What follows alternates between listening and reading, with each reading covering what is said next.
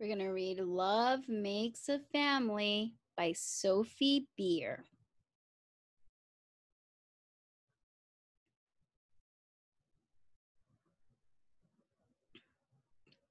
Love is waking up bright and early.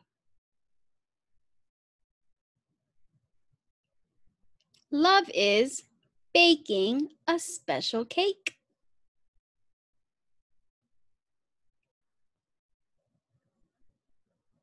Love is knowing where everything is.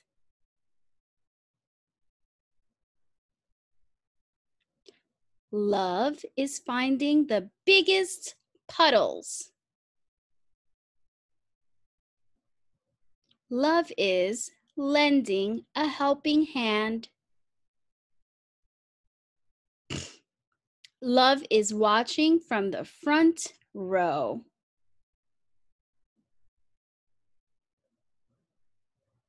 Love is playing on the weekend. Love is making things better again. Love is washing away the day.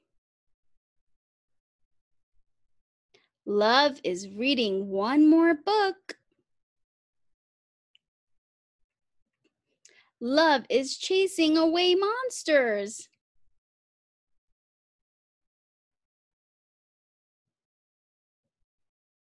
Love is a kiss before bed. Good night.